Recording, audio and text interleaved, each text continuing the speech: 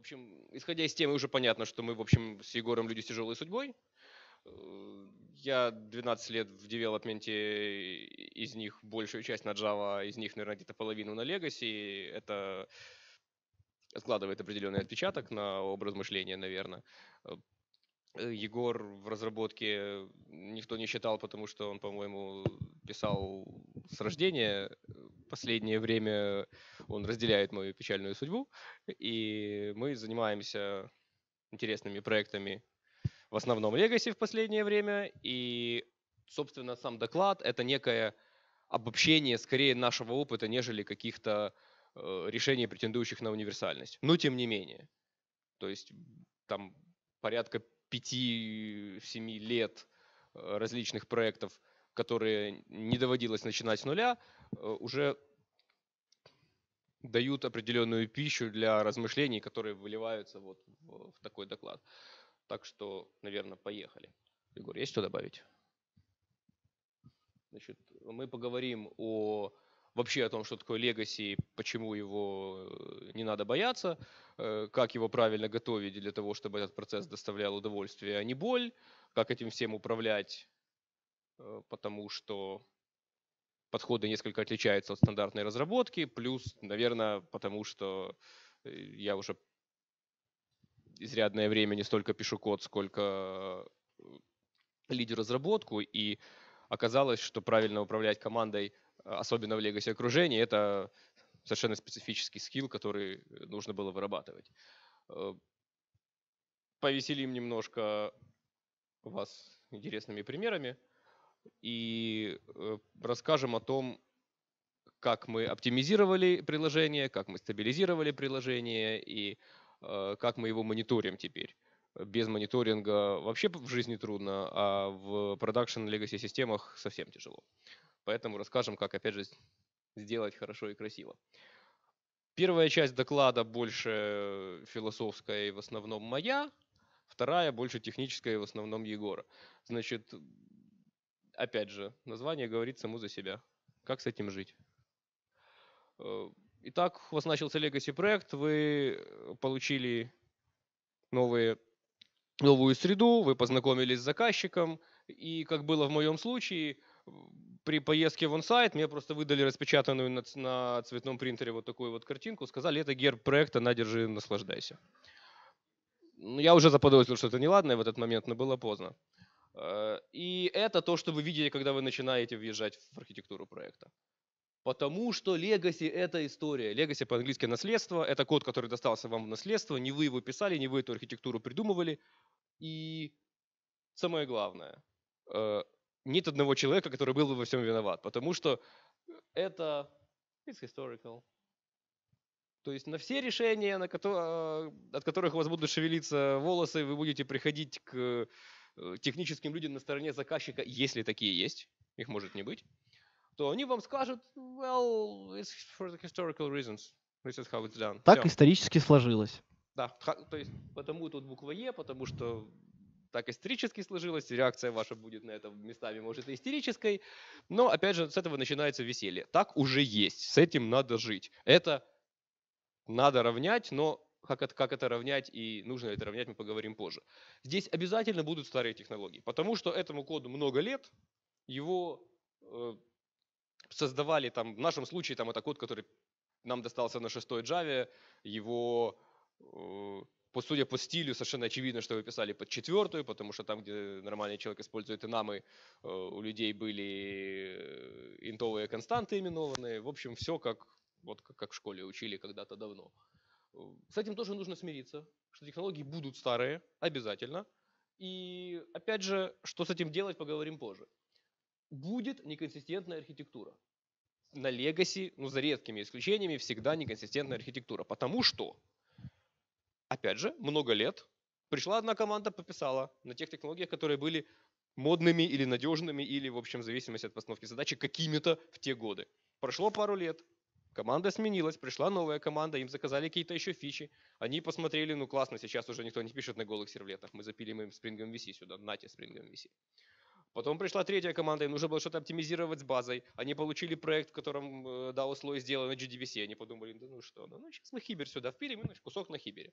и, и прочее, и прочее, и прочее. И у вас получается совершенно нормальная ситуация, когда у вас в одном, например, приложении есть э, сервлеты с JDBC, э, с JSP голые, э, там же Spring MVC, спасибо, если еще JS нет, э, там же э, приложение все на Хибере, в нем же есть, например, JDBC запросы в базу напрямую из JSP-шных страниц из скриплетов. Как бы зверюшку все видят. Ну вот оно. Опять же, к этому нужно себя подготовить, от этого не нужно биться в истерике, с этим всем можно жить, расскажем как. Э, с документацией там обычно беда, потому что, опять же, авторов нет. В лучшем случае есть Confluence, в котором в лучшем случае что-то есть. Э, в зависимости от степени запущенности ситуации, может быть, есть какие-то бэкапы, может быть, ну, в общем, но обычно стройной документации, описывающих хотя бы требования, уж тем более реализацию, не будет. Максимум, на что можно рассчитывать, это вот такая вот стопка прокуренных распечаток за 2004 год за как, о какой-то апихе, которая уже давно не используется, и компания, которая написала, банкротилась и продала своих сотрудников на органы. Выдается в начале проекта вместе с вот этим вот в нашем случае. Ну то, есть, ну, то есть реально, вот, это, вот, вот эта распечатка, могу показать, лежит у меня на столе, она лежит на вот таком, на, на вот таком кирпиче. Это теперь твое. Э, значит, вот это все повергает нас, в общем-то, в такой легкий шок обычно сначала. Э, и весьма распространенное мнение, что что угодно, только не Legacy, Legacy это кошмар, э, в общем, все ужасно и так далее. С другой стороны, к Legacy можно относиться чуть по-другому. Legacy это всегда продакшн, потому что если системе там больше 10 лет, или даже больше пяти лет, если эта система, ну, стартапы столько не живут, если система столько времени писалась в стол, значит, есть очень богатый инвестор, которому лень следить за тем, куда утекают его деньги. Это продакшн-система, она живет и приносит деньги, и к ней нельзя относиться э, без уважения, потому что ну, эта система уже принесла столько денег, сколько вы, скорее всего, за всю жизнь не заработаете. И, и это уже так. И это влечет за собой очень интересные нюансы, потому что, во-первых, эта система Раз она в продакшене, то она, наверное, надежна. Приписочку, приписочку видите, да?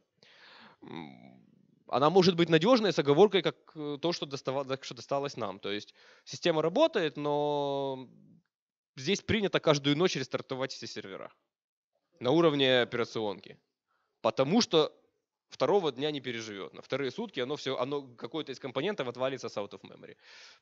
Так получилось, оно так живет, оно так работает годами. С этим точно нужно что-то делать, расскажем дальше что. Э, и это риски.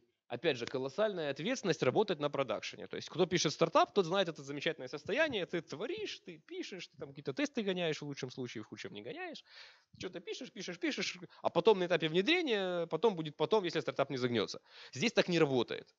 Здесь, чтобы, здесь по окончании спринта идет релиз на живой продакшн.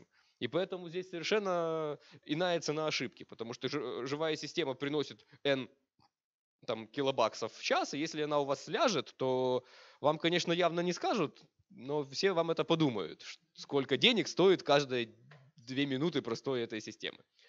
Поэтому вот, вот, вот, вот с этим работать уже очень интересно. И это первый мотивационный фактор для нас. Что нам надо в Legacy обычно? Не, не, не пишем с нуля, опять же, понятно. Нас зовут подписывать новые фичи в существующую систему, фиксить старые баги, стабилизировать систему, которая ненадежна. Она наверняка ненадежна в свете всего вышеперечисленного. Поехали. Что с этим всем делать?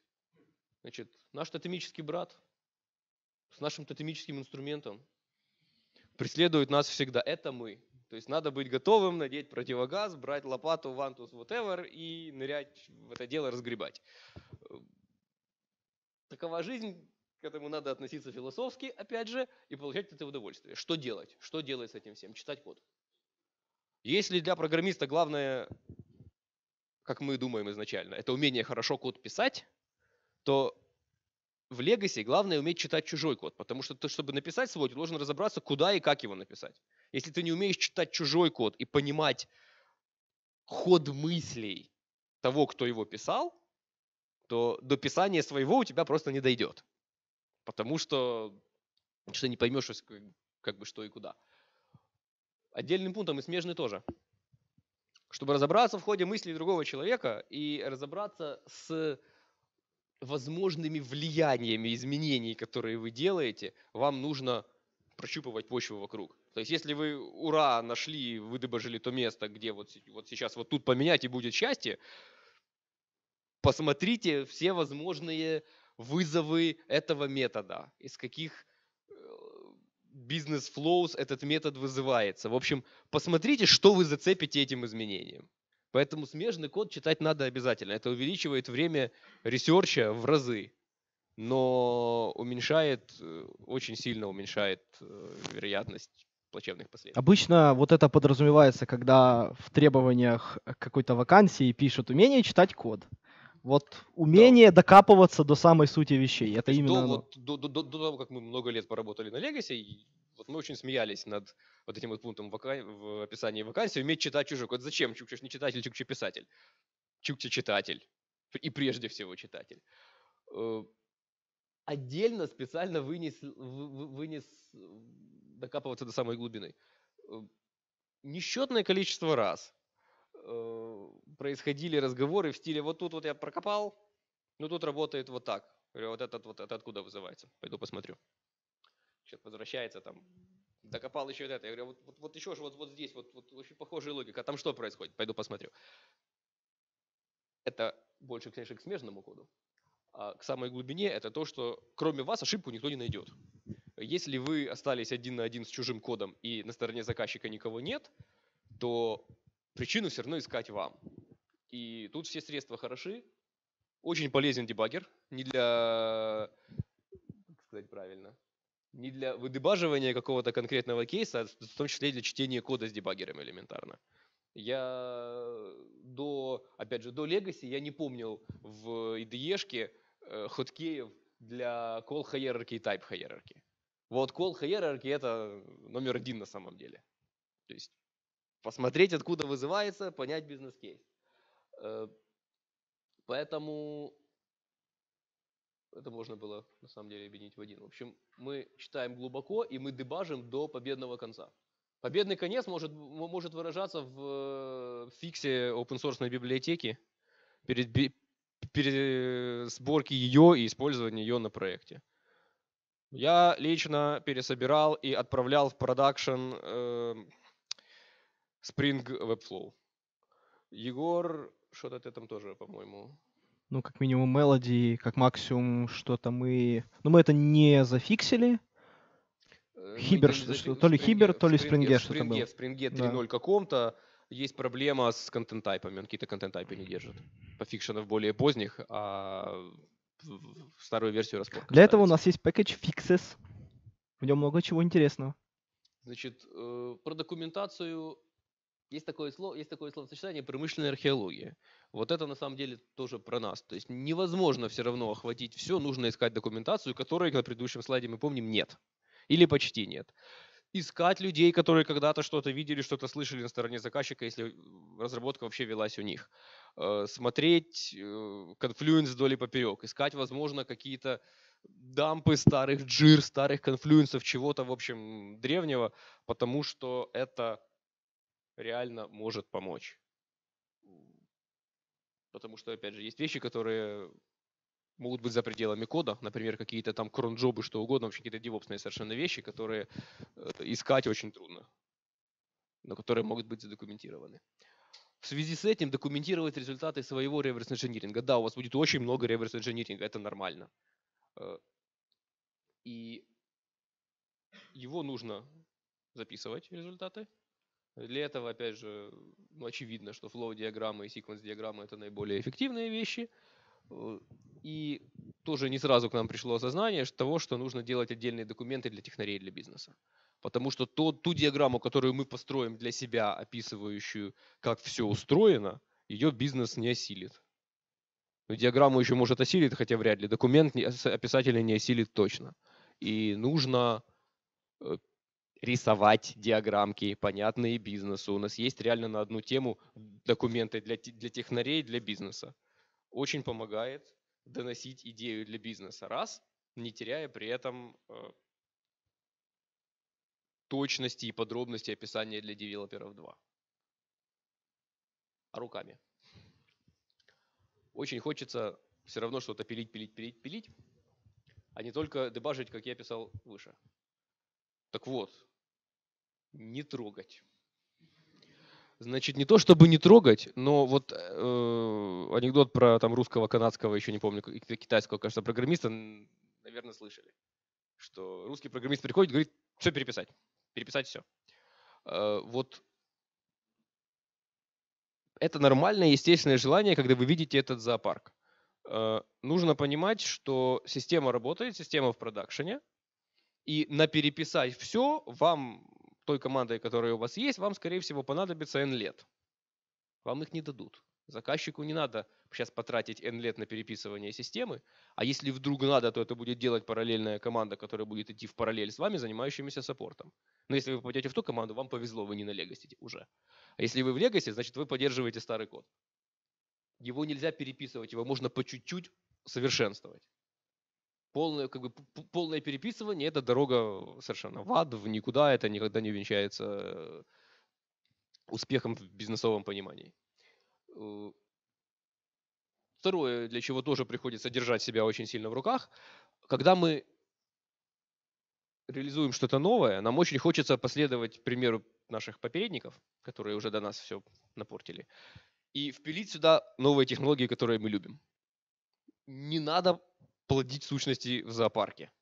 У нас уже есть какой-то жуткий способ, которым это написано. Ну, может, не жуткий, но чаще всего не веселый достаточно. Надо писать консистентно с ним. Тот, кто будет это потом после вас читать, скажет вам спасибо. Может быть, это будете вы же через годик. Ровненько, опять же, поняв ход мысли автора, лезть в его шкуру, и нужно писать схожим с ним образом. Э, третий пункт, он на самом деле чуть ближе уже к менеджменту, но это нужно понимать и разработчикам тоже. Вот есть такая вещь бизнес value.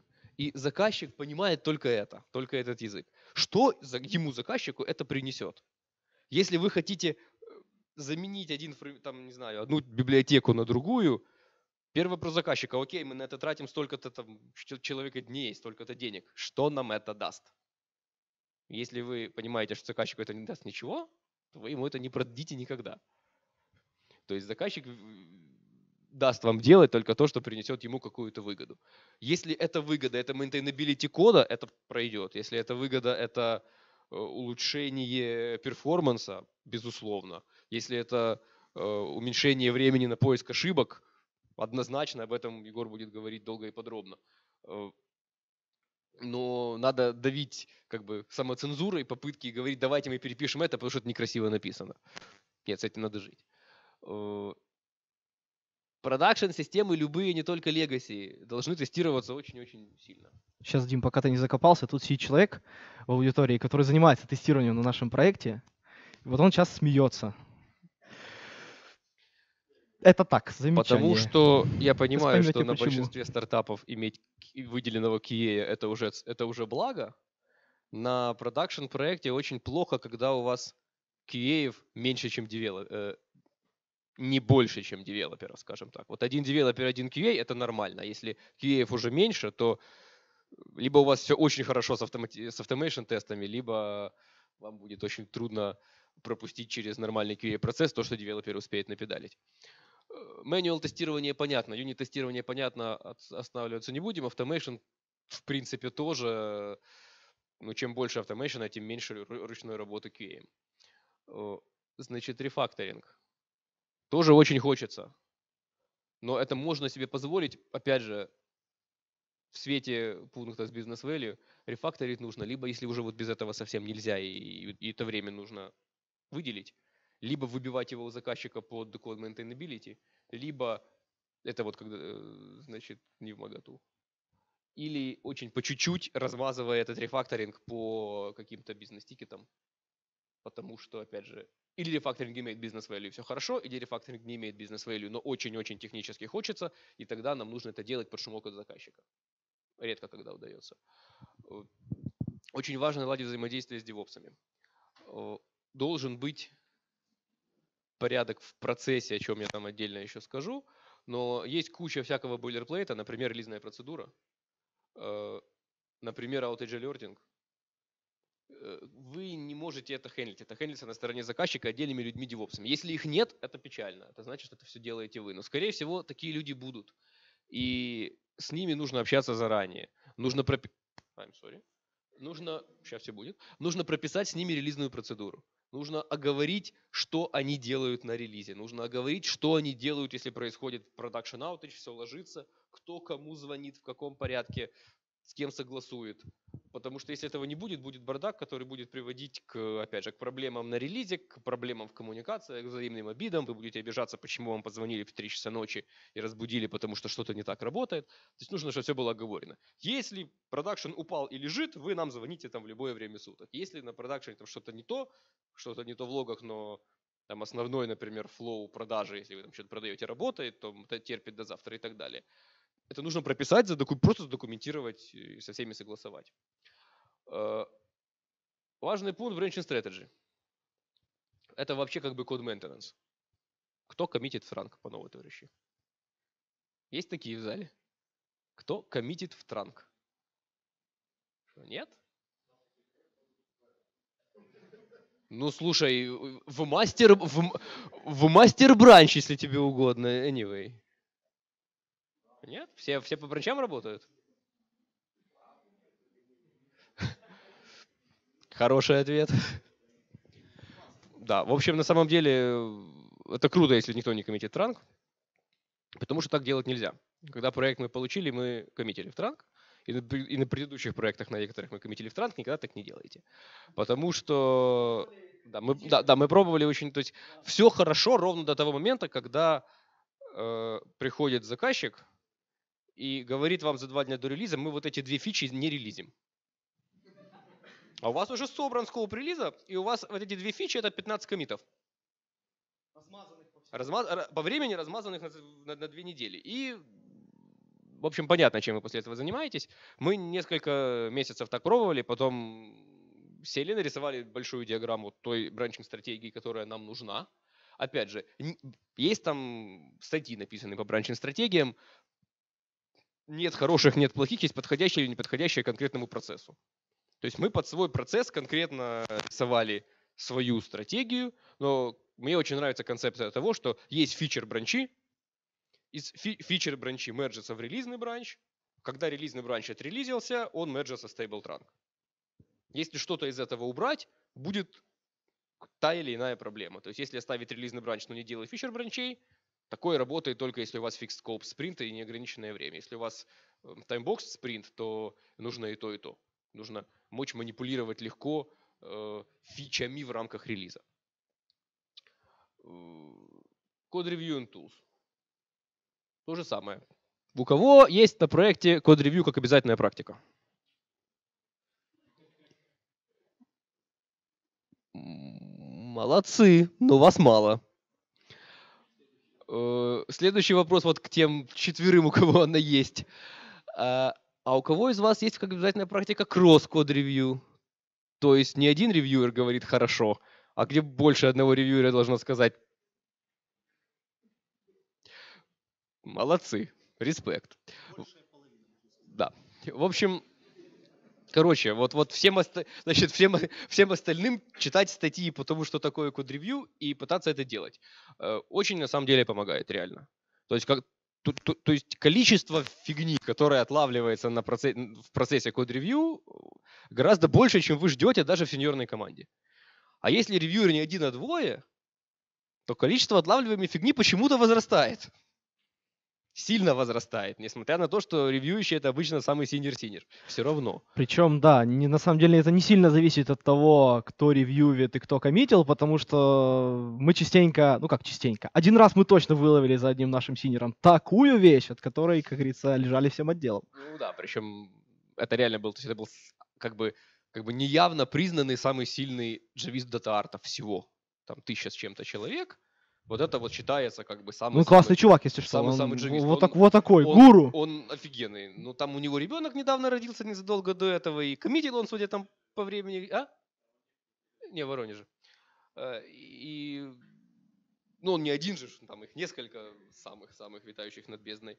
Ну, в общем, там много было разных обстоятельств. В трезвом уме, как бы в ясном уме и трезвой памяти такой закоммитить не может никто. Ну, тем не менее, он смог. Не суть. Короче, полезно. Э, сами тулы, им не то чтобы не из числа, но самые распространенные. Во-первых, как минимум, если у вас гид, то можно использовать э, pull реквесты э, Дальше есть Crucible, есть Fisheye, оба прикручиваются к Jira. Есть замечательная вещь Board. Меня долго уговаривали все-таки Board взять. Я долго сопротивлялся. В общем, ни разу не жалею, что взяли. Очень полезная тула. Out of scope здесь. Кому интересно, после окончания приходите, порекламируем его. Он бесплатный. Э, значит, как это менеджить? Значит, тут как бы такая некая совокупность моего темлицкого опыта – Э, это мотивационный слайдик, значит, это три тим-лида трех команд нашего последнего нескучного проекта. Пошли он в онсайте в Америке в Walmart покупать инструменты для работы. То есть вантус, ёршик, на банках тут не видно, написано вазелин. Э, в общем, как-то так. Значит, э, если это менеджить, это как бы больше относится к тем лидам, надо понимать на самом деле всем, для того, чтобы на, на этих лидов не обижаться, когда они вам будут голову морочить. Э, во-первых, изначально нужно признать, что не на каждую голову надевается легаси. Есть замечательные совершенно программисты, которые пишут чудесный код, обалденно знают Java, с нуля рожают потрясающие э, архитектурные решения, но когда ты их сажаешь копаться вот, вот, вот в этом вот всем массиве, человек тухнет. Просто потому, что у него мозг вот не настроен на копание в чужом коде, на понимание хода мыслей там, трех поколений аутсорсеров из разных стран. Я хотел избежать слова индусов, тем более, что наш проект, что наш проект писали не индусы, а поляки до нас. Э, ну вот все равно. Зато очень хорошо, что мы знаем украинский, было легче читать комментарии на польском. Про это будет, да. Про это еще будет. Но просто вот ну, не всем девелоперам подходит. Но если человек страдает и, и плохо perform ит, при том, что он классный джавист, от того, что просто вот он, ты видишь, он не может докопаться до глубины, потому что мозги не так работают, надо вздохнуть и этого человека с миром отпустить. Э, это нормально, как бы. Staffing проекта важная штука. Тщательно подбирать команду по личностным качествам, бла-бла-бла. Тоже очень важная хрень. В свете, опять же, в свете того, что Legacy, Вантус, все дела, давление на психику, сидим копаем страшные вещи подолгу. Если при этом нет самоиронии, если при этом нет чувства локтя и, и, и способности посмеяться над самим собой прежде всего, то вы не выживете. Если э, как бы человек при этом нетерпеливый там начинает ну, там, биться головой об стенку, то тоже как бы ему просто будет плохо. То же самое, это все нормально, таких людей надо отпускать. Э, ну вот на, на нас вот посмотрите, видно же, что мы спокойно относимся к тому, в чем, в чем сидим. Ну, что делать, как, как то не псих, как говорится. Но на самом деле реально, то есть если попадается человек, классный тоже, был у нас один классный парень, очень хороший пример, без имен, синк общий. Бла-бла-бла, у меня то-то, у меня то-то, все, там все хорошо или все плохо, неважно. Там, а что там, а что у тебя? Кого? Положить ее надо просто. Э, а там, а что у тебя? Раз, два. Привет. Я сижу и делаю вот это. Не, он потом как бы через две недели, он выкатывал замечательный чудесный код, но мы там боялись, что он повесится просто. В общем, вот, вот двое, которые знают о ком, я уже смеются. В общем, короче, все нормально, просто то же самое. Надо спокойно к этому относиться и по возможности ставить команду, подбирая тех, с кем будет хорошо, приятно работаться. И... Особенно в 3 часа ночи, вторую ночь подряд. Угу. Если вы не хотите этого человека уже убить просто, вот сейчас взять билет, где он там в каком офисе сидит, и приехать, с ним разговаривать, то это ваша команда, это люди, которые вам Да, то есть мы как бы мы работали ночами, как удаленно, так и вместе. Не спрашивайте где, это даже не в офисе было. Э, в общем, дальше идут такие тоже общетемлидские вещи, задавать дурные вопросы людям. К этому надо привыкнуть, к темлиду, что если ты всем рассказал какие-то best practices, то нифига они не стали эти best practices выполнять, во-первых. Во-вторых, а даже если стали, то, ты, то твоя задача быть свежим глазом. И если ты приходишь к зацелившемуся, там даже синеру, который чего-то подтупливает, и он сам тебя зовет, и ты приходишь, первый вопрос задаешь, так, у тебя не работает, да, хорошо, молодец. Ты код забрал из, из SVN, точно? Ты базку там, ты же помнишь, у тебя ж, у тебя ж был, код от предыдущего релиза, ты там накатил deployment item, и ты ж базку обновил до последней версии? Окей, хорошо. Там и так далее. А тебе там ты ходишь на удаленный сервак, там точно ты точно должен ходить на, на удаленный сервак. Ты же вроде как на локальном environment и так далее. То есть это нормально приходить и задавать глупые вопросы. Следующий пункт в ту же степь. То есть эм, Предыдущий пункт. Предыдущий, но я его пропустил, потому что это то же самое. Напоминать о вышеупомянутых техниках. То же самое. То есть, ну, у нас возьмем последний проект, потому что он долгоиграющий, два года проекту. Вы думаете, все каждый день тикеты в джире в актуальное состояние переводят, да? В общем, вы думаете, мы не забываем это делать? У нас есть специальный ПМ. Он уже не ходит по людям, он уже, он уже боится их убить, он ходит ко мне, говорит, Дима, иди к ним сам. Это приходится делать, это нормально, нужно всех учить. Особенно интересно, когда нужно объяснять новому менеджменту. Когда у вас меняется менеджмент, это совсем интересно. У вас меняется менеджмент, вам пришли новые люди руководить как бы вашим проектом со стороны заказчика. У них есть классный опыт, они знают без practices, они до этого делали N проектов, они вообще, они, они, они умеют внедрять agile по книге.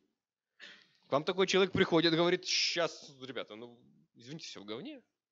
Сейчас Тут написано двухнедельные спринты вообще вас спасут, а у вас трехнедельные спринты. Поменять. Там вы, не, вы неправильно вообще считаете спринт velocity, у вас estimate ы в story point ах. Я не понимаю remaining estimate а в часах, давайте мы его введем. И будем его апдейтить там раз в день. И так далее. Э, и вообще, что это, как это, что это такое? Почему, почему у вас сначала идет инвестигейшн на 3 дня, а потом фикс на 30 минут? Как это так? В общем, Э, приходится объяснять менеджменту, что так принято. Тут как бы исторически сложилось. Анекдот все знают? Про, про, про здесь так принято. Что нет? Твой муж мне его рассказывал когда-то. Что значит нет? Твой, да. В общем, заводю. Значит, известный социальный эксперимент. Всегда была клетка с обезьянами, положен банан на высокую табуретку. И когда одна обезьяна лезет за бананом, остальных поливают водой. Но после определенного количества итераций, как только какая-то обезьяна лезет на табурет, ее сразу оттаскивают оттуда и начинают бить. Значит, после этого обезьян меняют по одной, но с какой-то периодичностью. Поливать уже никого не поливают. Э, значит, и дальше через какое-то время наблюдается ситуация, когда есть обезьяны, есть табуретка, есть банан, нету шланга с водой. Ни одна обезьяна за вод... на табурет не лезет, потому что она знает, что ее побьют.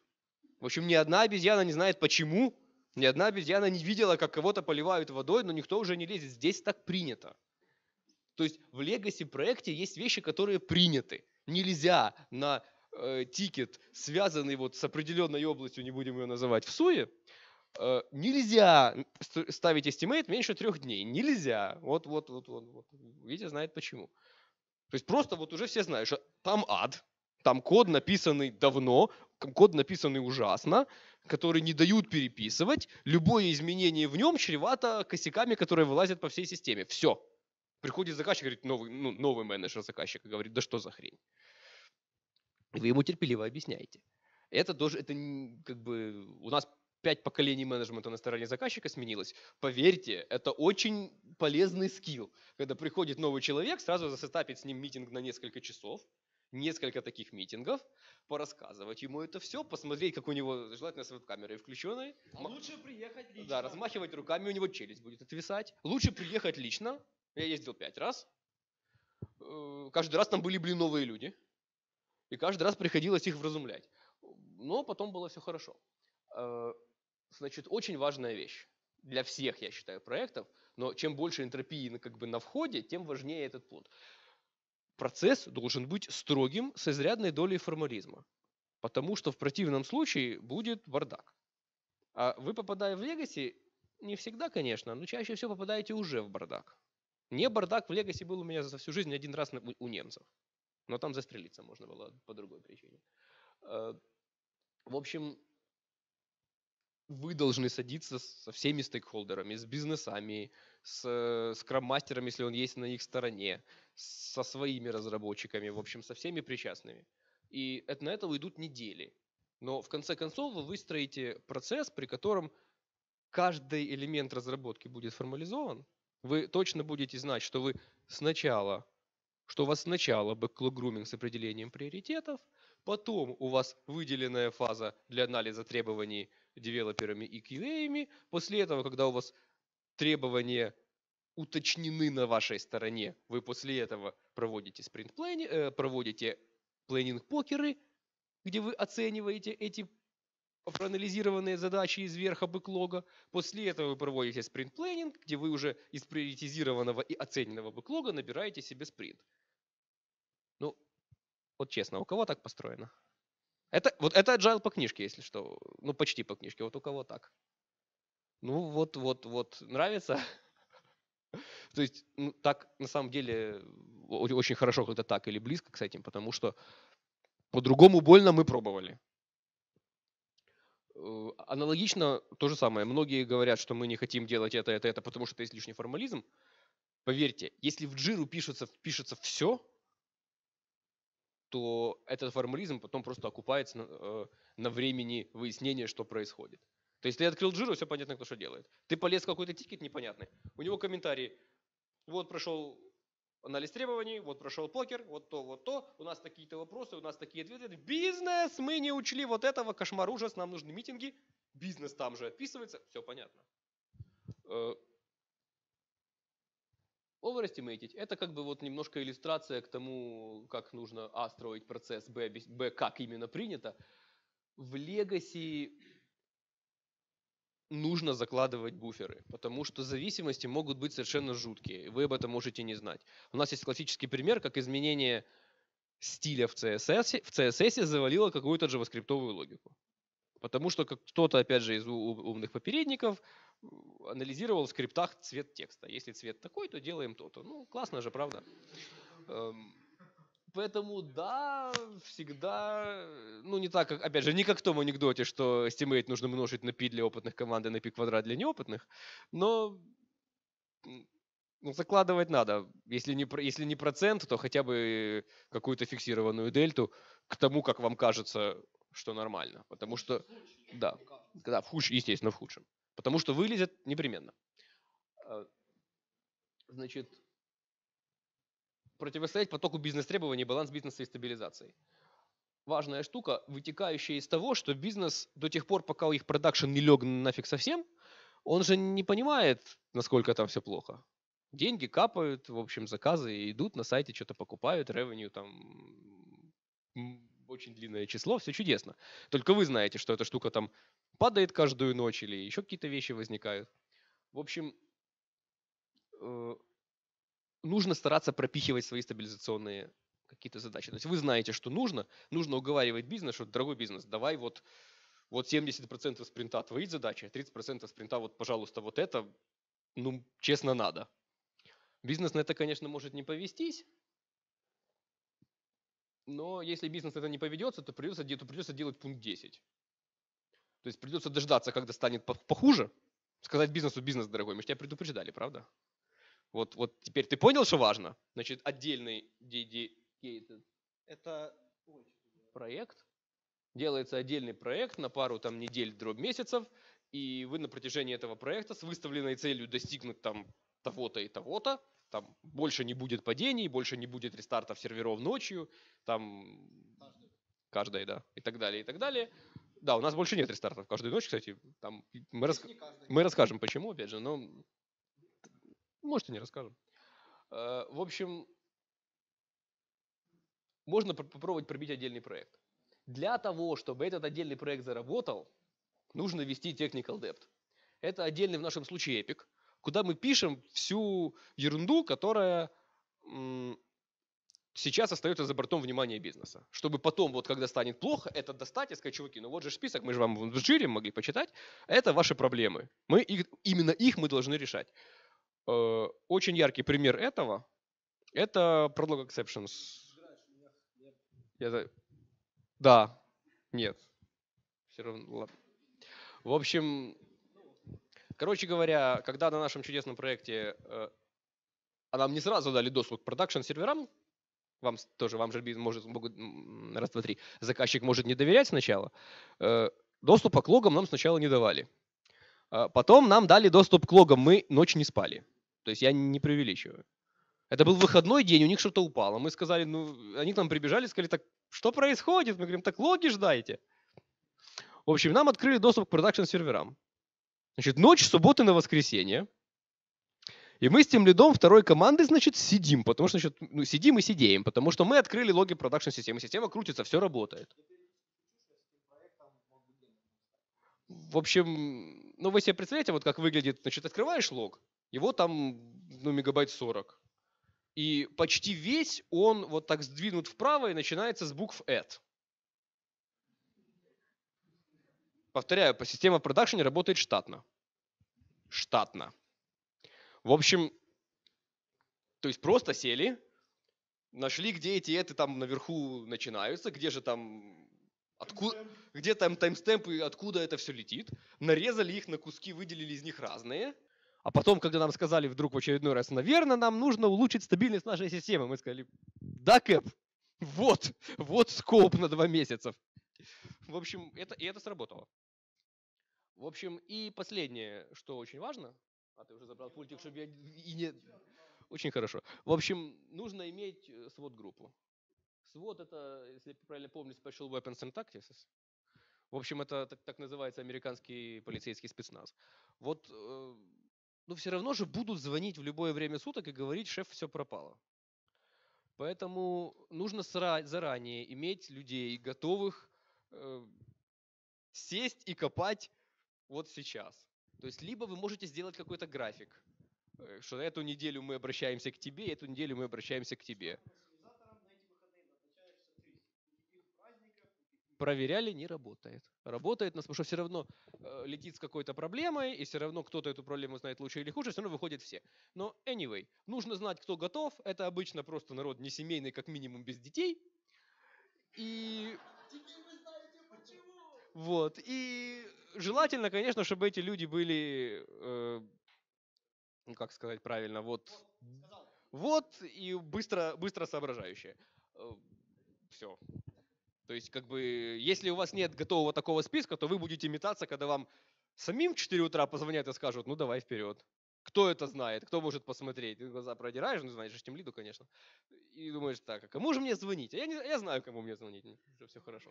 Причем обычно звонят сначала мне, а потом уже ему, когда там надо что-то... Ну, это, это уже сейчас. Раньше было наоборот. Я, наверное, старею. Взял пультик, нажимай. Вот, значит, немножко развлекаловки. Ну, я, я пробовал сделать крупнее, он в экран не влазит. В общем, просто вот примеры того, что бывает, это иногда весело. Вот, вот ты взял, вот, вот подсвечивай. На, я, я, я в уголок отойду.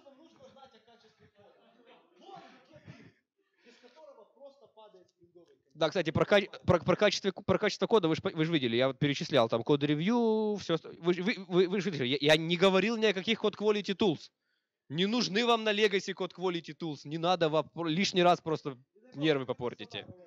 Да, то есть сонар будет весь красный, не надо. Значит,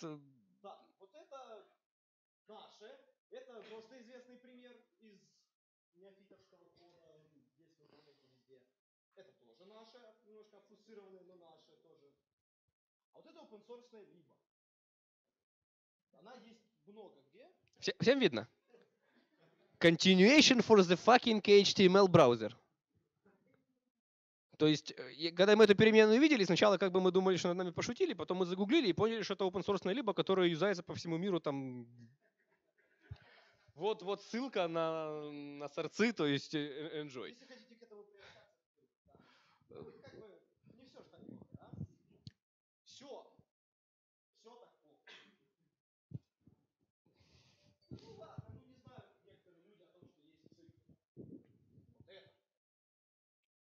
Не. Сколько раз? В одном методе. Я не шучу. 95 раз комментарий высоко. Я говорил, да, что поляки писали. Мы теперь все хорошо говорим по-польски. Как будет, высот, как будет высота, во всяком случае, мы знаем. Да, релокейт, если нужен, то мы уже готовы. Ну, высота. Высота. Ну, это, ну, на самом деле, это как бы сильно... А, не все знают польский. А, Надо окей. было сказать, это, это высота. Это они так высоту колонки, ну, типа, в, в табличке. Это, это, это, вообще, это как бы сильно обфусцировано, естественно, но это код э, генерирующий какой-то PDF или Excel PDF, отчет, PDF. отчет, где они какие-то, какую-то табличку там рисуют. Ну, тяжко. Опять же, ну вы поняли, и, и- и вот это как раз пример, вот это тот код, который нужно читать. То есть вам нужно прочесть класс. Видите, там класс на n тысяч строк. А там вот 95 р- раз вот так вот И вместо где-то в вызове какого-то метода Да. в классе много Не, строк, подожди, несколько под- тысяч. Подожди, э, я, я знаю, что по conventional класс должен быть не более чем 500 строк, но в Legacy класс меньше 10 тысяч строк считается нормальным. 5 это нормально. Мы же вроде предупреждали, что Legacy. Вот. Да, Егор, пок- пока ты не, пока ты не перешел сюда, вот это, это, было 90, это было 95 без цикла, а у нас еще был цикл for и от одного до одного. Был. Я там, я, я долго медитировал, я, я, я понял, почему так сделано, то есть понятно, что там была константа, которая раньше была не единица, и все понятно, но, но for, ну, от одного до одного.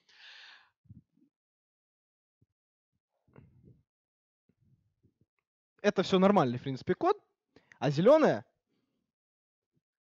не единичный случай. Вот это я люблю. Просто иногда там, когда тебе нечего делать после работы, и ты нажимаешь Ctrl-Shift-F, любимая идея, пишешь WTF, нажимаешь Enter, тш, 300 results, Да, и сразу- поехали. Причем, Ой, причем хорошо. поверьте, как это, поверьте Аксакалу, реально в любом проекте. То есть комментарий в ETF и будет в любом проекте практически. Так, значит, э, Тут коротко. тут коротко, потому что это как бы на самом деле, это в принципе по этому слайду можно сделать презентацию часика на два. Я специально не убираю эти пункты, чтобы не забылись вообще. Но это как бы немножко такой саморекламы, что ли. Это что мы реально сделали и что за что нам сейчас заказчики говорят спасибо посредством высылания отчетов по прибыли. Иногда мы их сами смотрим. Да, значит, уход от ежедневных рестартов. Да, ушли от ежедневных рестартов. То есть смотрели логи, смотрели, почему падает. В общем, нашли, пофиксили, понятно. Второй пункт очень хороший э, антипаттерн. Пришел со стороны девопсов очень веселый мужик, который сказал, что вот у вас тут там сложная архитектура, сейчас не будем вдаваться в подробности. Вот эти три ноды кластера, они там специальные, они делают определенную штуку, они постоянно часто падают. Постоянно часто, да. В общем, их рестартовать долго мучительно. В общем, ну, он DevOps, он не девелопер. Но мы сейчас уже разобрались, почему, но два года прошло. Он, он написал скрипты на перле, которые анализировали логи. Если, значит, этот товарищ больше трех минут ничего не пишет в логе, эта штука его рестартует. Точнее, если не пишет определенные сообщения в Да. логе. Ну, сам факт, то есть, как бы вместо того, чтобы починить, чувак написал механизм, который в случае отпадания колес от машины, он их прикручивает на ходу, не останавливаясь, и едет дальше. Классное решение. Там с такими сайд-эффектами, которые мы долго не могли понять откуда. Так, з- з- Zookeeper мы пропустим. Седьмое. пропу- э, Подожди. Четвертая штука. Вот четвертая и пятая, я не буду сильно останавливаться. Просто я не помню, говорил вообще или нет, есть такая классная штука, как third-party dependencies. Очень полезно посмотреть, какие они есть. Потому что э, очень может быть, что ваш волосатый код ходит на разные третьесторонние ресурсы, от которых он зависит. Например, э, у нас был скрипт такой tool ы, как TVRS. TVRS пишется Oracle, вроде уважаемые люди, но в какой-то момент этот скрипт начал возвращ- возвращать 404. А инклюдился он на сайт без никаких try-catch ей, то есть Oracle на своей стороне заглушил сервак со скриптом, у нас лег продакшн. Потом, э, наверняка у всех сейчас почти есть таг-менеджеры. Опять же, если проект аккуратный, таг-менеджер один. Если проект Legacy, на нем их может быть, как у нас, два, Больше. два с половиной, так скажем. То есть Adobe Tag Manager, Google Tag Manager, whatever Tag Manager. Это, в принципе, Adobe Test and Target, всеми нами обожаемый Давай не будем. инструмент Отдельный доклад. Короче говоря, есть какой-то инструментарий штатного добавления к вам на продакшн каких-то скриптов, которые кем-то менеджатся. Опять же, возможно, уважаемыми в конторе людьми, которые могут не быть девелоперами, нифига не тестить то, что они туда лепят. То есть это все нужно, все нужно за- за- за- затрайкетчивать. Э, Значит, седьмое я уже озвучил, в принципе. То есть просто пройтись по всем логам и посмотреть, что не так в штатном режиме, это очень хорошая вещь. Э, Замена библиотек на новые Егор скажет Можно да, можно нет. То есть там, Там личная хоро- боль. хорошая вещь, но сайд-эффекты могут быть такие, что, может, лучше не надо. Это я не буду отбирать у Егора его хлеб. А, это я как раз тоже уже сказал. А, Deadlink сканинг классная вещь, кстати, да. К концу второго года проекта мы это сделали, у нас оказалось, по-моему, две с чем-то тысячи. Ну, короче, она, конечно, со всех страниц считает, но, в общем, у нас там оказались пару десятков битых ссылок, с которыми система жила все эти годы, и которые фиксятся где-то на уровне рерайт рулов, где-то у админов на, на, на load балансере. Опять же, нам сказали большое спасибо. Ну, как бы и последнее, о чем уже говорить должен не я. Э, Идея какая? Вот в очередной раз к нам пришли и сказали, что все плохо, у нас впереди ход сезон. Ход сезон это много-много-много значит, заказов. Мы должны держать нагрузку, а мы тут валимся периодически, где-то по памяти, где-то еще почему-то, непонятно, что происходит. Давайте нас стабилизируем. Мы подумали, ну, аллилуйя, мы не зря вам год дырку в голове делали. Что в первую очередь нужно делать для стабилизации и как нужно улучшать мониторинг системы, чтобы понимать, что же с ней происходит? Вот э, это в основном делалось руками Егора, мы при этом делали умное лицо и презентовали заказчику, как это все классно, а Егор расскажет про, как он, как он говорит, кишочки. Как говорит Шепелев. Оч- Очень уважаем. Кишочкин тоже говорит. А, собственно, расскажу про штучки. А, значит, в первую очередь я буду рассказывать про Java Melody, один из инструментов мониторинга Java приложений. Нам он очень сильно помог. Я буду вас сейчас агитировать его использовать, ну или хотя бы посмотреть, что это такое, чтобы знать, зачем это нужно. Собственно, то, что это инструмент для мониторинга Java приложений, я уже сказал. Интегрируется либо ваш application сервер, либо если у вас какой-то standalone application, интегрируется прям в его недра. В реальном времени собирает кучу полезных метрик. Часть из них можно собрать посредством операционки, часть из них можно собрать посредством каких-то еще тул, но есть какие-то вещи, которые лучше или просто нельзя собрать извне, либо лучше собирать централизованно. Э, Ну, понятно, CPU usage, RAM usage, там, heap, permgen, как память делится, thread count, HTTP activity и прочая активность вашего сервера, это понятно. Это вещи, которые, в принципе, полезны. Э, MySQL connections, transactions per minute, running queries, min-max query time, статистика самых популярных и самых медленных запросов. Вот эта штука очень полезна. Нам она очень сильно помогла, потому что позволяет увидеть то, как реально приложение взаимодействует с базой, обычно не самым аккуратным образом. Э, У нас был момент, когда мы зашли, просто открыли топ этих запросов, и у нас там что-то что невероятное количество времени, типа 50% всего общения с базой происходило с таблицей в которой там записей 30 от силы. И там И меняются они раз в жизни. да, очень-очень редко. Соответственно, как бы мы еще об этом узнали? Не, ну мы, конечно, могли бы включить отображение эм, шоу SQL в Хибере, да, и сидеть потом годами собирать все эти данные и делать, делать нам больше нечего. Я расскажу лучше, как это устроено. То есть устроено проксирование, проксированием GDBC драйвера, что в принципе работает очень быстро, оверхеда не добавляет. Девопсы со стороны заказчика утверждают обратно, я им не верю. А, эта штука очень быстро работает. Она open source, то есть можно пойти и как бы посмотреть, что я не вру. Еще что она покажет? Trade info in details. Какие потоки что делают, где они запаркованы, кто их вызвал, где они упали, где они повисли, какие-то такие вещи, которые чаще всего как-то по-другому сложно обновить. Вот, например, как вы думаете, что напишет вам JVM, если при попытке создать поток у нее это не получится? Она выкинет error. Это error. Как вы думаете, какой error это будет? У кого какие-то догадки есть? Что? Out of memory error. Out of memory error. Самый что ни на есть. Идете сейчас в сорцы GTK, смотрите, и там комментарий, типа if you cannot create a new thread, throw new out of memory error. Спасибо Oracle за это. Нет бы написать нормальное что-то. Ну, в общем, эта штука может вам помочь отловить такие моменты. Сейчас расскажу, как мы ловили. Hibernate L2 кэш. Ну, редко у кого не используется хибер, редко у кого не используется какое-то кэширование в приложении, если у вас там, конечно, не какие-то сильно часто обновляемые данные. Хотя и то и можно найти, что кэшировать. Можно посмотреть, что в каких бакетах кэша лежит, если это EH-кэш, что-то сбросить. Тоже полезная штука. Логи. Самый популярный entry, сортировка по типу, ну, в принципе, примерно понятно. Он тоже отслеживает логирование и как какую-то вам статистику по этому делу предоставляет. Ну, System Law, Disk Usage, Free Disk Space это неинтересно, потому что это, в принципе, нам и Nagios покажет. Вот это как бы с главный кусочек графиков, их на самом деле больше, это просто те, которые оно показывает по дефолту. То есть видно время отработки garbage collection, количество трейдов, количество загруженных классов, там свап, открытые файлы, транзакции в минуту. Интересная вообще статистика.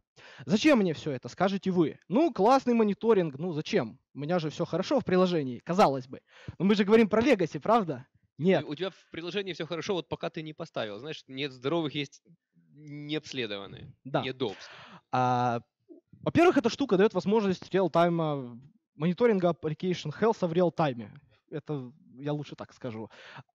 Вот, вот is it dead yet? Это важно, потому что это я сейчас расскажу, почему важно. А, можно посмотреть в реальном времени, что происходит с вашим приложением. Причем действительно в реальном времени, а не какие-то исторические данные там за прошлый год, за примерно это же время, когда была похожая нагрузка. Нет, вот то, что сейчас реально происходит. Соответственно, дает возможность быстро реагировать на какие-то аутеджи, решать какие-то сиюминутные проблемы. Вот резко возросла нагрузка на какую-то отдельную ноду кластера, или резко возросла, возросла нагрузка на какой-то конкретный кусок сайта, там, допустим, там, такие URL и все дальше, начинает там валиться дикое количество туда запросов или еще что-нибудь. Эта штука поможет вам выловить такие вещи. Соответственно, поскольку эта штучка показывает, как я сказал, кишочки, есть такой интересный момент, что логи не всегда показывают всю картину произошедшего. У вас упало приложение, то есть вы уже сидите как бы у упавшего продакшена и смотрите логи. Логи показывают только то, что ваше приложение в них напишет. Чаще всего это ай, все, задыхаюсь, не могу, нету памяти, ай, все, задыхаюсь, не могу, нет трейдов, ай, все, горит дата-центр. У нас было. Приложение упало, потому что сгорел дата-центр. Ну, бывает. Ну, правда, про... по логам это не было понятно. Ну да, то есть, как бы, ну не написано же в логах там Fire in Data Center Exception. Вот. Логи не всегда эту штуку покажут. Поэтому, поскольку Java Melody собирает и хранит исторические данные отдельно, подальше от JVM, где ее какие-нибудь хитрые девопсы не найдут, можно посмотреть, что же было с приложением в этот момент времени. Вот у вас в логах все хорошо, но приложение упало. Как бы вам не хотелось этими логами помахать перед, собственно, заказчиком и сказать, чувак, ну у нас все круто, приложение лежит. Открыть, посмотреть, возможно, что-то происходило такое, что нетипично для вашей системы. Возможно, для вашей системы нетипично иметь на одну ноду кластера 100 тысяч запросов в секунду, Возможно. Соответственно, дальше уже можно от этого, как бы отталкиваясь, начинать думать, что не так. А, эта штука дает возможность предусмотреть многие проблемы еще до того, сработ... до того как сработает DevOps Alerting, а он же у вас обязательно есть. Я говорю это с сарказмом, потому что обычно у вас его нет. И DevOps Alerting появляется тогда, когда у вас там что-то периодически падало, падало, падало, и всех это достало. Тот DevOps, который сидел 24 часа в сутки, 7 дней в неделю, читал ваши логи, ну, он уже как-то вроде и на пенсию человеку пора, ну, надо бы отпустить уже с миром. Вот эта штука поможет. Соответственно, если вы видите, что у вас ползет, ползет, ползет память, ползут, ползут, ползут треды, ползут, ползут, ползут еще что-нибудь, и вот сейчас они упрутся куда-то, после чего приложение упадет, потому что такое уже было, самое время поднять тревогу. Эта штука помогает. А, графики более наглядны для менеджеров и прочих бизнесов. Любят менеджеры всякие разные графики. Ну, вот вы покажете им, грубо говоря, количество HTTP-сессий. Вот упало приложение, конкретно вот упало. Почему? Люди вам приходят, менеджеры начинают показывать Google аналитику, что вот мы запустили там рассылку или еще что-нибудь, и у нас все упало. Но у нас же вроде все хорошо. А он включен. Упало. Ну, да, упала. Вы запустили рассылку, наплыв кастомеров, а неделю назад девопсы из 9 тачек кластера потушили 6, потому что денег нет. У них. Они так говорят. Ну, насколько я помню, в реальном случае, потому что провтыкали, ну ладно. Я хотел это не упоминать. Ну, собственно, не ну, наш провтык, мы можем как бы махать этим примером как ну, флагом, но... Уважаемая контора, нет денег на сервера. А вот провтыкать, провтыкали, был мейнтенанс из 9 серверов, 9, ну, их, их тушили по 3. Ну и а некоторые либо не поднялись, либо их забыли поднять. Все, да. Неважно. Собственно, соответственно, легче ответить на вопросы клиента, почему так, почему случилось, почему упало, что мы можем с этим сделать. Можно взять реально эти данные, проанализировать и что-то что придумать же, что делать. Ну и девопсы скажут вам спасибо. Э, до внедрения всего этого дела девопсы смотрели логи, еще что-то там. После внедрения этих штук вся DevOps команда заказчика этим пользуется. Редко уже кто ходит, смотрит логи сам, кроме одного великого Аксакала, который заведует вообще всем IT, наверное. По-моему, он не ходит смотреть логи. Ну, ладно, я бы поспорил. Ну, ходит, короче, неважно. Поехали дальше. Какие-то более-менее живые примеры из реальности. Вот это было не, не, не далее, чем пару недель назад. Это так, так получилось, что этот скриншот я снял со своего продакшена за там пару часов до предыдущего нашего прогона этого доклада. Mm-hmm. А, потому что мы приехали, грубо говоря, с поезда, зашли в офис, покидали себя все, достали ноутбуки и сели релизить. Второй день подряд, потому что вчера у нас ничего не отрелизилось, все упало и пришлось откатываться. В принципе, более... Кстати, да, а вот помните, я говорил про релизную процедуру? Вот когда вы пишете релизную процедуру, а вы ее пишете, то обязательно пишите процедуру отката. Пути отступления назад. Да, то есть, то есть реально документ на релиз. Во-первых, на релиз должен быть документ, в котором пошагово написано, что вы релизите. И также пошагово должны быть написаны пути отката. Потому что когда вы поймете, у вас есть релизное окно 3 часа, там, хорошо, если 3, а не 2, и вы через час понимаете, что релиз зафакаплен, так жить нельзя, уже не пошло, и вам нужно за час все откатить, как было. Думать вам некогда. Вам нужно брать по документу и откатывать все назад по пунктикам, не думая. Особенно, если учесть, что это будет 5 утра. И думать будет не только не, некогда, но и нечем. Собственно, тут коротко. Sorry, да, нормально. Э, вот пример графика трудов. Э, вот это вечер, 22.00 вроде бы написано, примерная пиковая нагрузка на наш сайт. Мы видим, что количество трудов на какой-то конкретной ноде выросло. Эти данные, в принципе, примерно одинаковые каждый день, чуть больше на выходных, но, в принципе, дает понимание, что происходит. Кстати, вот там 28 тредов. Ну, это нормально. За исключением того, что будет на следующем слайде, если будет, если я вставил, не помню. То же самое по memory. Тут кто-то перед докладом подходил, ребята спрашивали про память.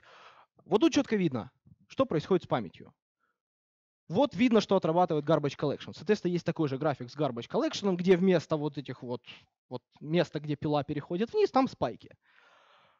Вот это, это наш деплоймент. То есть тут видно, что мы роняли серваки, потому что 5 утра. Это дает какое-то понимание, что происходит. Допустим, у вас вот тут вот что-то упало, и после этого не поднялось. В логах все хорошо ну, я думаю, очевидно, что с этим делать, что-то, как минимум, реагировать на эти данные, хоть как-то. Вот пример. А, это как бы главная вьюха, тут не надо всматриваться в детали, но общая как бы картина ясна. У нас есть два вида нод. А, один вид нод это просто обычный веб-сервера, который смотрит мордой на клиента, и есть одна, две, три определенных нод, которые как-то предназначены для менеджера, для контент-менеджмент тим заказчика. В общем, на сайте к товары добавляют, ходят специально обученные обезьянки. И нагрузка на эти ноды разная. А, она зависит от кучи разных факторов, но обычно она разная. И если вы поставите две ноды кластера вот так вот друг с другом, допустим, это веб-сервер, веб-сервер и веб-сервер, допустим, у вас их шесть, вот вы выставляете шесть вот этих вот страничек и смотрите, что все везде хорошо, а вот эта конкретно нода почему-то задыхается по памяти. Эта штука дает понять, какая из нод, какое приложение работает немножко нештатно. Что-то, видимо, происходит с ним. Дает возможность локализовать, собственно, проблему. Потому что, допустим, у вас есть... Ладно, нет. Допустим, у вас нету ничего, у вас все плохо. Вот такой пример. А вот, собственно, что я хотел сказать сейчас. Я думаю, многие слышали о том, что есть Elasticsearch, Logstash, Kibana. Все это очень хорошо, и этим надо пользоваться. Это агрегация, анализ, визуализация данных из логов вашего приложения. Зачем-то же оно эти логи пишет.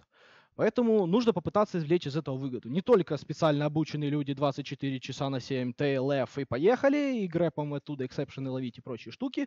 Иногда можно попытаться это дело автоматизировать, извлечь из этого какую-то пользу. А, во-первых, эта штука собирает статистические данные в реальном времени из логов вашего приложения. Настраивается и действительно собирает. Видно, как текут деньги в систему, видно, где падают какие ошибки, видно, что вот тут боты набежали, видно, что тут рассылочка с имейла подъехала, кастомеры подошли и прочие вещи. Это все здесь. Соответственно, э, не всем иногда очевидно, иногда кажется, что есть какие-то просто фиксированные наборы вьюх, которые система показывает, и все. Нет, это все настраивается. Который любит регулярные выражения после двух лет Legacy проекта. Я очень люблю регулярные выражения. До этого нет, а сейчас да. Perl тоже теперь все вот эти вещи люблю. А, вы пишете, грубо говоря, свои регулярные выражения. Ну, они не совсем регулярные выражения, это определенные паттерны, по которым ваши логи парсятся. Данные из них токенизируются и попадают в Elastic. После этого вы можете, пользуясь этими токенами, уже строить какие-то графики, какие-то визуализации, делать выборки. Ну, я думаю, в принципе, примерно понятно. То, что мне нравится больше всего, это еще больше цветастых графиков, понятных даже вашему менеджеру. Вот тут отдельный момент, потому что, ну, не всегда вот те технические графики понятны вашему менеджеру. Обычно менеджер человек или не технический, или чуть-чуть технический, который о компьютерах только слышал, что есть Facebook и Excel. Вот если у вас есть график, на котором, если внизу, то все хорошо, а если вверху, то все плохо, то ему это понятно. Если у вас есть одна большая цифра, как вот тут на замазанном скриншоте, честно уперто из интернета. Тут, тут я вижу доллары, и вот когда вот бизнес с утра в 8.30 утра заходит, наливает чашечку кофе, включает дома компьютер, открывает тут страничку и видит, о, с начала суток уже 156 попугаев продали. А это 156 на, на денежку. Поэтому это как бы наглядно для них визуализация, откуда приходят посетители, визуализация, как распределяются они, там, не знаю, по нодам по вашим кластерам, допустим, если у вас там есть специальные какие-то ноды. Что вы придумаете, то и будет. Эта штука очень полезна. Полезно не только с технической стороны, но и со стороны бизнеса. Поскольку логи пишутся для разных случаев, вы можете просто подобрать те какие-то конкретные. Вот это дашборд называется, вы можете сделать дашборд там, для DevOps, дашборд для DBA, дашборд для себя, если вы отлавливаете какие-то особые. Вот вы знаете, что на продакшене происходит какая-то ошибка, нужно ее выловить. Будем ловить, делаем отдельный дашборд, делаем выборки, видим эти данные. И отдельный пункт, который на самом деле очень важен, потому что без него все это имеет очень малый смысл, это лишний повод привести в порядок логирование в вашем приложении. Поскольку Legacy, все пихали где только могли лог warn, лог error, лог fatal на все подряд, даже там, где должно быть info или debug или trace, у вас в логах, как Дима уже упоминал, либо куча просто эксепшенов, либо все очень плохо и ничего не понятно. Лишний повод привести это в порядок. Причем не просто в порядок, чтобы это можно было читать, а в порядок, чтобы это можно было еще и распарсить логстэшем. Это все бесплатное, это все open source, это все можно качать. У Кибаны есть алертинг, за него хотят денег. Я уже говорил про специально обученного девопса, который тоже хочет денег, это его работа. Не надо никому еще платить. Вот пример нашего дэшборда для конкретного случая. Тут что можно замазано, но в принципе можно догадаться, вот этот график, вот, вот, вот этот график, это примерная посещаемость. И ну, они как бы бизнеса называют это конверсия, но я не знаю, что такое конверсия, поэтому это те люди, которые пришли, что-то купили. Вот эти три графика – это виды неких событий, красный из них – это ошибки. Э, вот зеленый – это в данном случае мы ловили конкретную, конкретную ошибку, которая происходила, когда к нам на сайт из какой-то внешней роботизированной системы приходила куча запросов. И мы просто видели, что приходит вот один и тот же request на, на, вот, на все сервера сразу в одно и то же время. Вот тут не видно, но вот это вот 8К. Все остальное внизу там по 60 час, по 70 час, а тут 8 тысяч. Причем даже не в час, там в очень маленький промежуток времени. Вот тут видно, что это error count, это что-то не критичное, связанное с какой-то красивостями. Это log level percentage, это warning, это info, это error, legacy. В принципе, это не критично. Спасибо, что фаталов нет. Есть. В этом графике фаталы есть, их три штуки, их просто здесь не видно. Но когда я запустил эту штуку, оно, я говорю, ну что, типа, вот смотрите, показываю коллегам, тут три вида, э, PyChart делится на три части. Они мне, подожди, а вон же четвертая. А какая четвертая? Фатал. Ты думаешь, о, Java приложение, которое нормально работает в продакшене с тремя фаталами в день? Ок. Про Elk все, а сейчас поговорим. Подожди, пока, пока, пока далеко не убежал, мои 5 копеек. Э, к позапрошлому, на самом деле, слайду. Где Могу проскроллить. Зачем, ну, если можно. Э, на самом деле, вот для чего, зачем и почему. Э, два момента, которые, на мой взгляд, как бы, если смотреть чуть глобальнее, очень еще полезны. Значит, первое, э, может, ты проговаривал, конечно, и я прослушал тогда, сори. Э, кроме даже заумных случаев, о которых Егор говорил, которые очень классные, есть один примитивнейший кейс, для которого я использую на самом деле всю эту штуку гораздо чаще. У нас 12 серверов в продакшене. Когда говорят, ребята, у нас тут что-то не то, мы не понимаем где. Пойдите посмотрите логи, пожалуйста. Вот до внедрения вот этой штуки это означало, что ты берешь SSH, Три, ты, ты, значит, три сервака отбрасываешь, потому что они админские, а реально на улицу кастомерам торчат 9. В общем, 9 серверов ты идешь по логам и читаешь. Увлекательнейшее занятие. Даже с грейпом увлекательное. Сейчас э, просто заходишь сюда, говоришь, покажи мне все эроры за последние два, за вот этот промежуток времени. Все. То есть процедура вместо нескольких часов, в общем, кошмарной совершенно работы превращается в несколько минут, ну, зашел, посмотрел. И второе, вопрос, опять же, больше абстрактно-философский, но все же. Вот когда ты начинаешь видеть графики, построенные на основании логов, ты начинаешь понимать, как надо писать логи. Потому что если ты пишешь логи, ориентированные на человека, это одно. А если ты пишешь логи, ориентированные на то, что они будут парситься машиной, и, и по ним будет рисоваться тебе статистика, то ты начинаешь совершенно в других местах их расставлять и по-другому форматировать. То есть нужно, во-первых, можно изначально задумываться над тем, какие метрики мы можем снять с логов, и думая об этом, эти логи писать. Во-вторых, когда ты пишешь лог сообщения, нужно опять же, можно, а с эластиком уже и нужно, задумываться о его не человек, не только человека читаемости, но и машины читаемости. Ну, я про это сказал, да. Если сказал, то значит я прохлопал. Все, спасибо. Собственно, едем дальше. Там кто-то, ребята перед докладом подходили, спрашивали, вот что у них там веселая с памятью. Это, кажется, вы были, ребят, да? Есть такие прекрасные инструменты, о которых много кто знает, много кто не знает, но вообще они есть. Java Mission Control и Memory Analyzer Tool. Mission Control, в принципе, Mission Control себе Mission Control появился штатно, кажется, даже вместе с JRE, но в JDK-то начал бандлиться точно, седьмой JDK 40 апдейта, дает возможность потыкать на живую ваше приложение. Если Java Melody собирает статистику, то эта штука, инструмент разработчика, берешь просто вот так вот, втыкаешь его в работающую JVM и получаешь какие-то интересные данные. ну, посмотреть просто на память, где куча FF, это неинтересно, но как бы есть какие-то интересные штуки. Потому что, например, эта штука позволяет в реальном времени инжектить код. Ну, для некоторых это не впечатлительно, типа они юзают JRocket, мы можем сейчас ход свап класса сделать, у нас все будет хорошо, но они все, юзают, не все юзают JRocket. Кстати, для JRocket он появился раньше, и аналог есть. Там он всегда идет в поставке. JRocket дорогой. Я же говорю, для тех, кто для тех, у кого есть, для тех, у кого есть бага на много-много денег в продакшене, живущие много лет, из-за которой заказчик теряет кучу денег, но при этом они не могут позволить себе купить там за 40 баксов в месяц тулу для анализа, это мы не будем вспоминать, кто это такие и что мы о них думаем. HipDump Memory Analyzer Tool. Если у вас для ваших приложений в продакшене не включен этот флаг, то удачного вам плавания, потому что в какой-то момент, если у вас приложение упадет по out of memory error, все, что вы будете о этом знать, это out of memory error в логах. Возможно, если вы уже успели продать своему заказчику Java Melody, ну как продать, прикрутить. Э, если вы уже прикрутили, то вы увидите, что у вас, да, действительно out of memory error и память куда-то делась, но почему? Исторически, наверное, сложилось, да?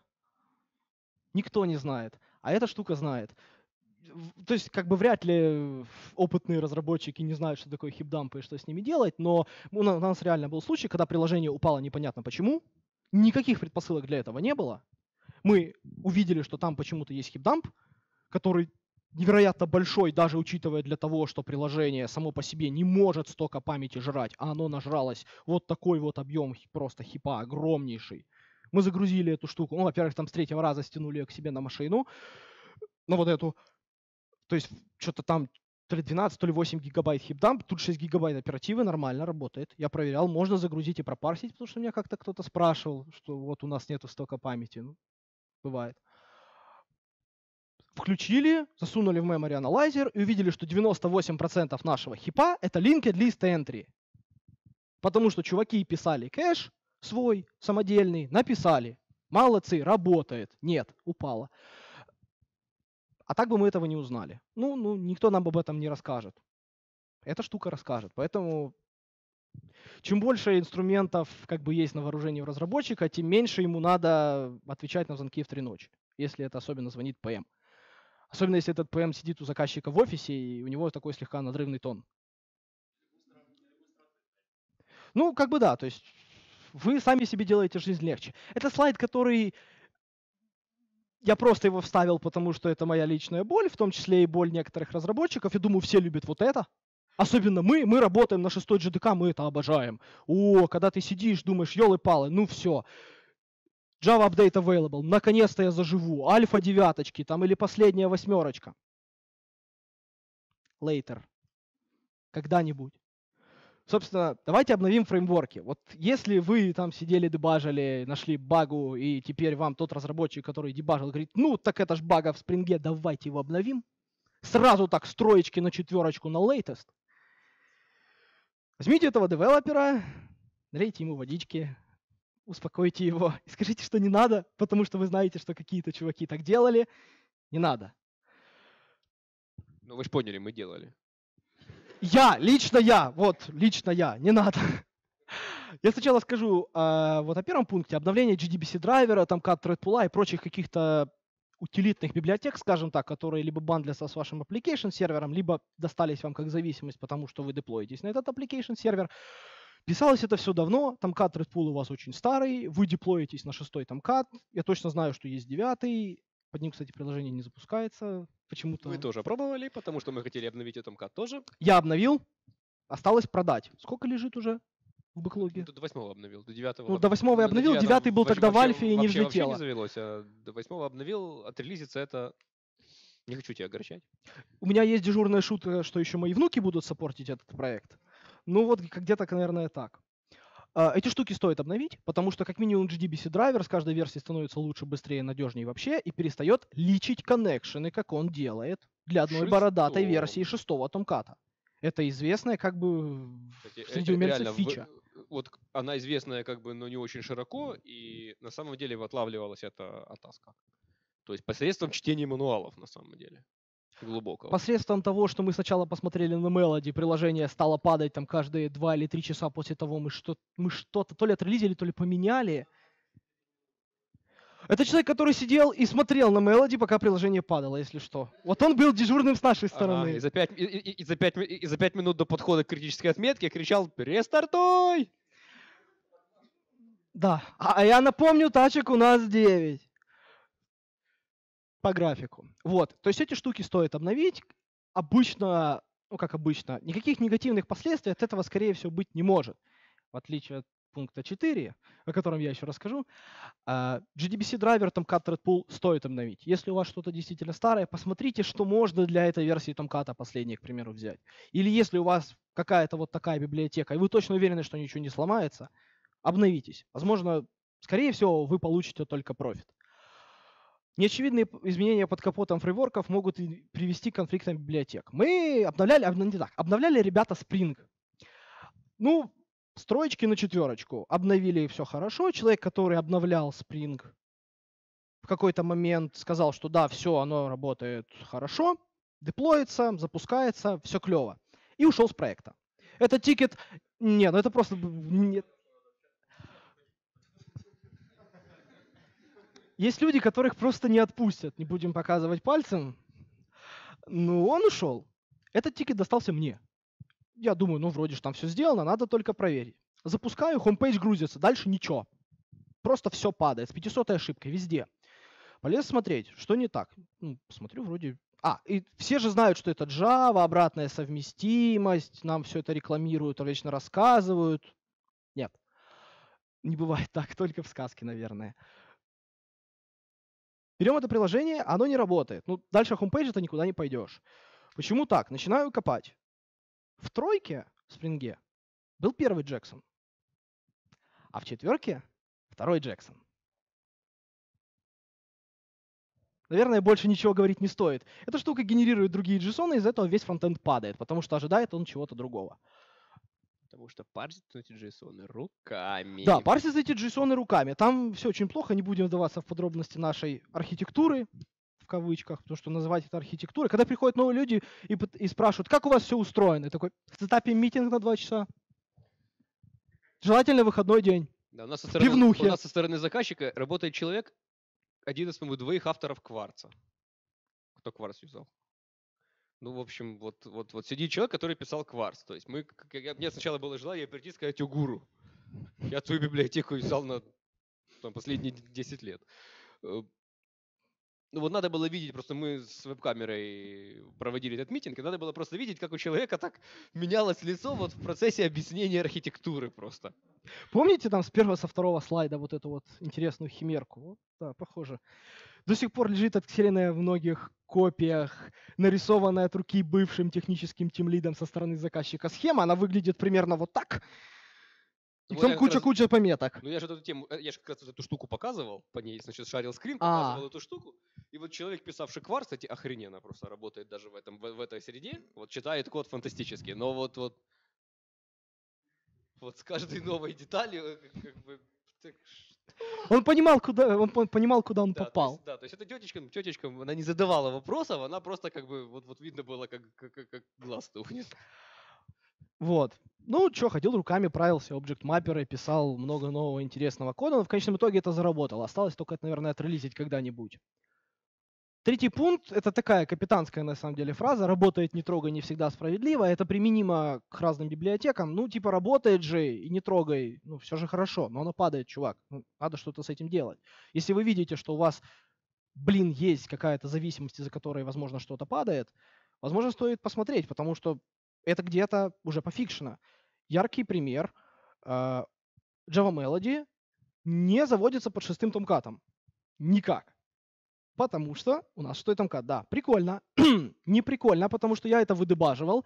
э, а эта штука хочет определенную версию сервлетов, но умеет работать со старой. Но, кстати, от Java Melody все комментарии на французском. Прям вот набирайте в гитхабе Java Melody, все комментарии на французском. То есть я только польский выучил, тут французский. Такой, твою дивизию. Ладно, поехали. А, Ребята веселые, они запилили фикс для проблемы из-за того, что Java Melody не стартует на шестом томкате.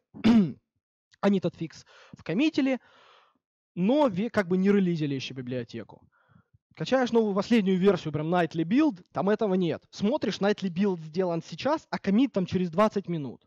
Чертыхаешься, качаешь, пересобираешь, втыкаешь, не работает. Лезешь внутрь, еще что-то нужно фиксить. Дофиксиваешь руками, pull request, пересобираешь, запустилось. После этого, кстати, оно не видело вообще MySQL, но это отдельная там история. Там надо еще что-то хачить, использовать э, флаг настройки самой Melody, которая официально не поддерживается разработчиком, который этот флаг придумал. Он сказал, я вот это сделал, но тот, кто это использует, бог ему в помощь. Мы это не поддерживаем. И это еще на Google Code написано, который сам по себе уже закрылся. Ну и отдельная история с обновлением application серверов в версии Java. Я не просто так вот это сделал и вот это, вот все. Я обновлял проект 6 Java на 8. Я знаю, каково это, и это плохо. Это боль, страдание, унижение. да? Ну что ты уже доделал, а ты... Ты видишь, что перед тобой святой лик тимлида, но ты не понимаешь, что он тебе говорит, потому что ты... Все, ты в другом где-то параллельном измерении. Это долго, мучительно. С application серверами отдельный разговор. При из шестого томката на седьмой эти ребята втихаря поменяли GSTL, и из-за этого наши классные выражения где-то там внутри GSP их просто перес- перестали компилироваться. Не помнишь, там что там нет, цифа нет или цивайла, что-то там нет. А, там, Что короче, что-то связанное с циваром или А, с чем-то может быть. таким. Я сейчас уже не помню, потому что это было давно, и то ли перед Новым годом, то ли после, но, в общем, где-то там. Ну, Короче, я плохо синтаксис- помню, что Короче, происходило. синтаксис GSTL чуть-чуть заменен. Об этом нигде не изменен. написано. Об этом написано в спеке GSTL, который я нашел на архив.org. Потому что на официальном сайте как бы всех спек по Java там 404. Ну, помните про документацию? Я не просто так улыбаюсь, когда мне говорят, Oracle GSTL классная тоже компания. Legacy, зараза. А, собственно, это, наверное, вся боль, которая у меня есть на тему обновлений. Мы еще немножко скажем по полезным ссылкам и докладам, которые частично вдохновляли нас, а частично я могу лучше. Вот, собственно, первое столкновение было на GE конфе, э, когда С я с 2014 года вроде бы. 2014 года, да, где я слушал Виктора Полищука. Собственно, ссылочка прямо вот на видеозапись этого доклада. На самом деле э, классный дядька, очень хорошо рассказал. Я вышел с его доклада с ощущением, это все круто, я хочу это рассказать по-другому. в общем, с какой-то более... Ну, просто с другой стороны. То есть Ну, он рассказывает это- приблизительно те же вещи, но совершенно, совершенно в другом ключе. Это похоже на шутку «смотри, как могу, не смотри, как надо». Вот как, как, как, как-то так, да. То есть захотелось дать больше каких-то практических советов, как не надо делать. Э, Второе – это книжка Майкла Фицерса «Working Effectively with Legacy Code». Честно, не читал. Э, А больше по рефакторингу на самом деле. Вот, именно потому. То есть э, ссылка это не на книгу, это ссылка на слайдик, где он рассказ, где он сам презентует книгу и показывает на слайдах основные как бы highlights этой книги. Почему он ее называет Work with Legacy Code, я не знаю, потому что ну, именно ключевое слово код. Это, это действительно руководство по, по научному рефакторингу, что ли. Сферическому в Да, вакууме. это не, не- к не сожалению. совсем то, что мы советуем, но для расширения кругозора очень на самом деле хорошо.